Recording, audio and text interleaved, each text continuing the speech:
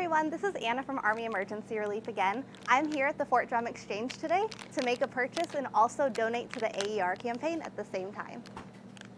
Hi. How are you today? Good, how are you? I'm good, thank you. Can I see please your military ID?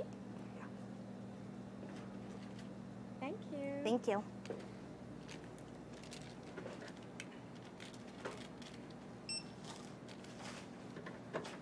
Your total is 219. Card or cash? Be card, please. Please ask for donation. And as easy as that, I've made a donation. Just a reminder that you can make a donation here at the Exchange all year round, but we're really encouraging donations during our annual campaign from March 1st to June 14th.